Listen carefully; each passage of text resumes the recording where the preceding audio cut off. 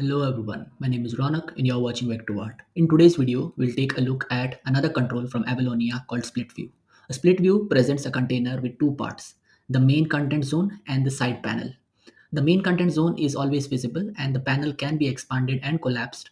The collapsed panel can be completely hidden or left slightly open with enough space to host some icon buttons, for example, uh, home, settings, and so on. So uh, this video will be a tutorial on how to implement such a control in Avalonia UI. So without any further ado, let's get started. And for those who haven't subscribed to my channel, please do subscribe to my channel. It means a lot and it motivates me to create more such videos. So moving on, let's fire up Visual Studio and let's click on create a new project. Let's select Avalonia.NET MVVM app and click next let's give this a name. Let's uh, lay, change it to avalonia split view and click on next. And click on create so uh, now that our project is loaded, the first thing that you will notice is that we see a designer and to achieve this uh, or to get this designer, you can add the Avalonia extension uh, provided by Avalonia. And here you can go to extensions and you can see I have installed this uh, extension called Avalonia for Visual Studio 2022. So this will provide you the previewer uh, and uh, other templates for Avalonia so moving ahead let's start by designing the split view so let's get rid of this um, greetings text over here and let's uh, let's start designing our application. Before that let me go to the solution explorer and change go to the app.xaml file and change the theme from uh, default to dark. Uh, okay uh, let's go back to our main window and here let's start by adding our split view. And um, let's say the is open is pane open property uh, to true for now. And um, let's next property that we are going to set is open pane length. And i want this pane to be open uh, 300 points. Uh, and the next property that we are going to set is compact pane length. And when it is collapsed i want it to be 48 points. So once that those settings are set let me bring this all to the next line. Okay so uh, now the we have set the uh, open and compact uh, pane lengths. Next uh, we will set the display mode uh, and we have several options. We have overlay inline compact overlay and compact inline. I'm going to go with compact inline. And then let's next let's set the pane background and let's set it to you can choose whichever color you like. And um, I'll also set the background to the same color. Yeah that's it. So let me bring these also to the next line.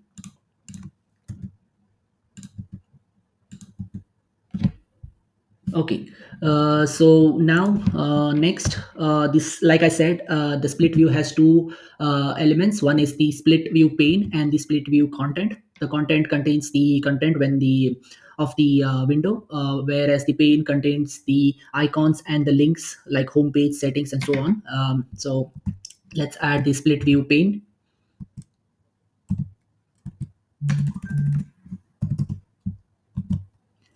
and also let's add the split view content. Okay so next let's add a stack panel within this. Before we go and add the stack panel let's uh, add a border within our uh, content and set the corner radius of 10 points and 0 0 0 and let's set the background to say 2d 2d 2d uh, just to differentiate from the pane so now you can see we have our pane in a darker shade of gray and then you have a lighter shade of gray. Uh, that is the content region. So um, that is the content section and now let's focus on the pane so in our pane uh, let's add a stack panel and let's say the spacing as 5 and uh, the margin also to be 5 and within our stack panel we will add our button that will trigger the uh, pane uh, to open and close. So let's add a button here. And let's set a command. And let's set the binding. And give this uh, command a name open pane command let's close the binding and let's set other properties like horizontal alignment to say left. And um, uh, let's close this. And for now uh, let's uh, put the content as a hyphen maybe. Um, and you'll see soon notice why now that uh, our button is created and we have set the command property for this button, let's uh, change this uh, is pane uh, property from true to a binding. So let's say binding and let's uh, create a binding called is pane open.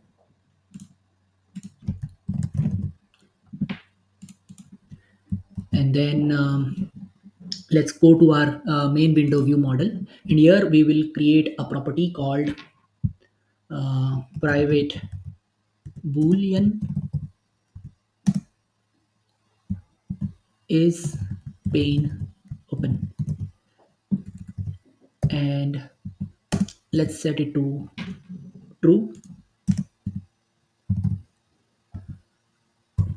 Also we need to set this uh, property as an observable property.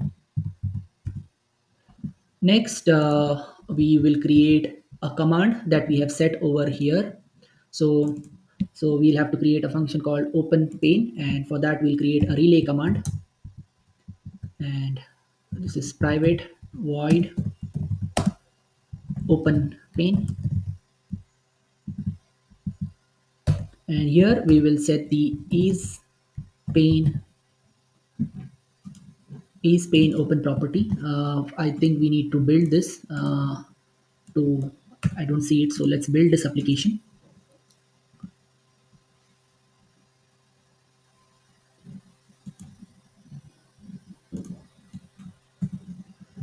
Let's try it one more.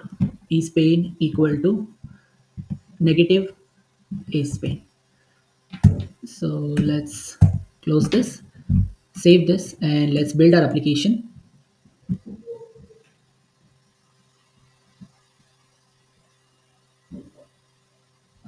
okay. So now if you see we have this button which is not uh, quite visible yet but we will change this soon. So if you see here if, if i click on this button it will toggle the uh, uh, pane from open to close. And uh, by default uh, the pane is open. So you can set that property as well. So now let's uh, do some changes to our buttons. So let's add a style first. So let's go to our view model not view model sorry our application XAML. And uh, also let's go to a solution explorer and under our assets let's right click and add a new item and that would be the uh, Avalonia styles. And uh, here in our styles we will remove this part. And here we will add our styles so let's start by adding a style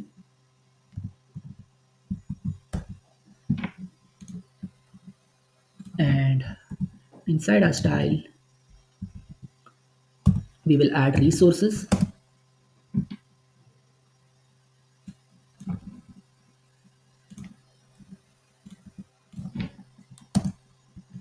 and inside our resources we'll add some stream geometries uh, that are provided by avalonia. These stream geometries are basically icons in a geometric format and you can find it in the uh, link in the description. So let me look for an hamburger menu icon. So let's search for lines. So we have line horizontal one. Uh, let's search for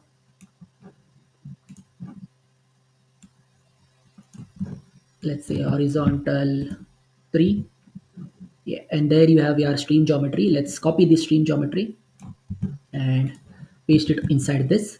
Next uh, we will have to save this and go to our app.xaml file. And in our app.xaml file under the fluent theme we will add our style include. And here our source will be the uh, style that we just added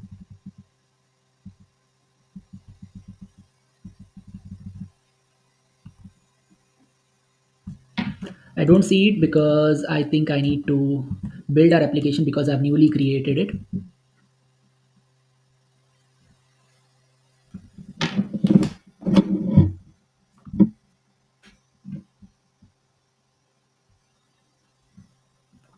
Okay, now let's try again.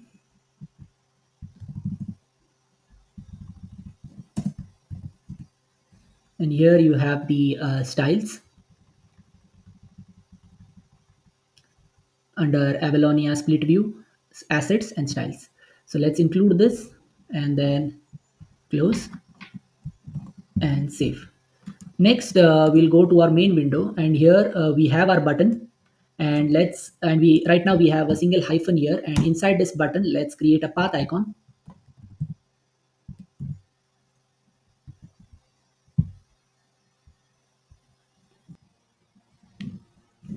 so let's set the data equal to a binding. Not a binding sorry but uh, here it will be a static resource. And let's copy the name uh, from the uh, resource file and that is called the line horizontal 3 and let's paste it over here. And then let's close this and close our path icon. Okay so also uh, let's build this once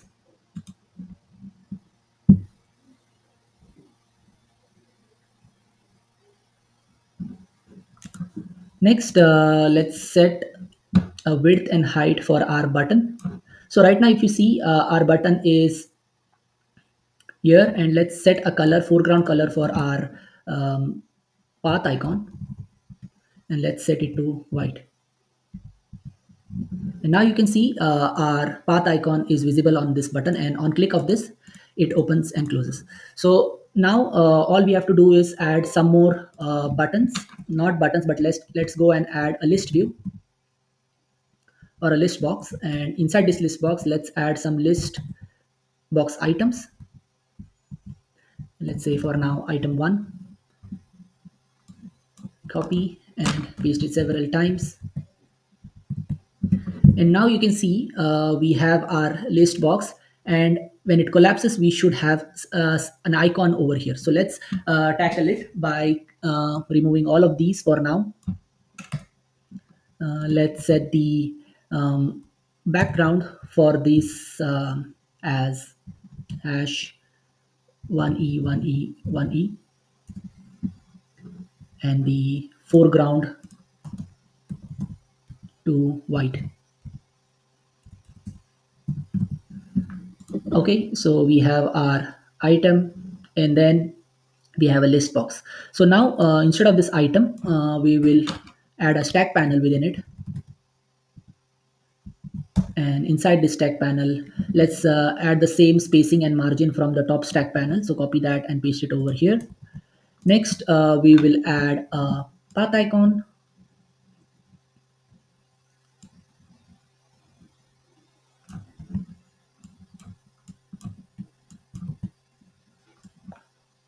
and a text block.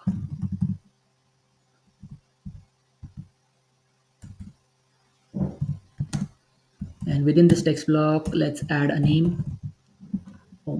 And let's set the orientation of this to horizontal. And let's set a margin of 15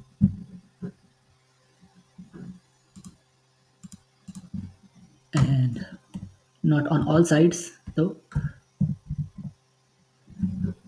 And um,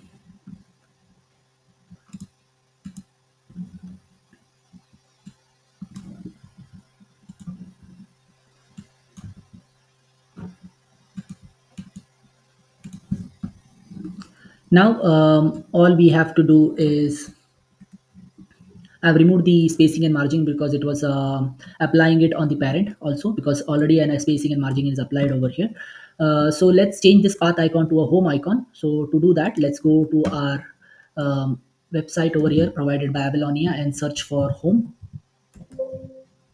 And you can see the stream geometry provided by Avalonia. Let's copy this, go to our styles and paste this style over here. And let's copy this name and paste it on our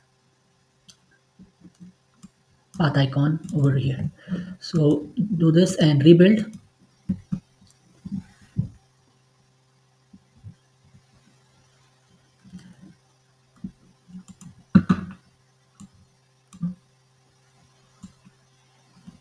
let's run this application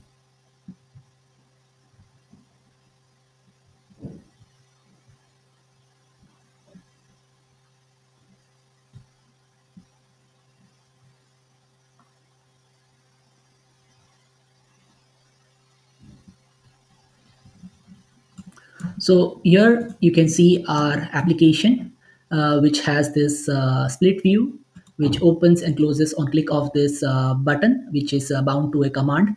And here you have a list box with uh, the uh, list items. So hope you all uh, liked watching this video. If you do please give this video a thumbs up like share and do subscribe to my channel. Till then bye bye